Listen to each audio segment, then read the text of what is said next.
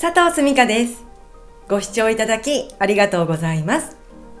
今回のお話は、胃腸を元気にする方法です。あなたの胃腸は元気に働いてくれていますか？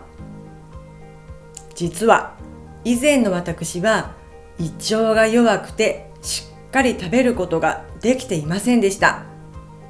なぜならご飯の量を減らしてでも甘いお菓子を食べるということをしていたからなんですね。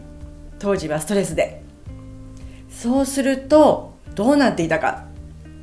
白砂糖の影響で胃腸の動きがストップします。そしてそのことで消化にとても負担をかけていたので胃腸が弱くて疲れやすかったんですね。胃腸は消化吸収という生命力の基本を支えてくれている臓器ですよね。弱いままでは健康にはなれません。加えてストレスの影響を受けやすいのも実は胃腸なんです。なので玄米などの未精白の穀物そしてお野菜のうま煮などアルカル性食品梅干しなどで胃液の分泌を促してあげましょう。またさらに特に腸は冷えが大敵です。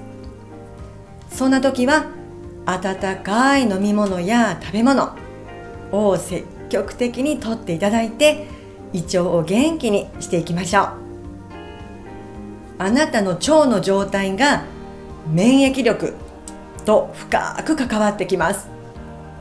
私もできることを自分のペースで実践中です。あなたもできることからチャレンジしていただいて腸を元気にして免疫力を上げていきましょう。私はいつも素敵な笑顔のあなたを応援しております。ご視聴いただきありがとうございました。もしこのお話が役に立ったと思っていただけましたら是非高評価ボタンとチャンネル登録もよろしくお願いいたします。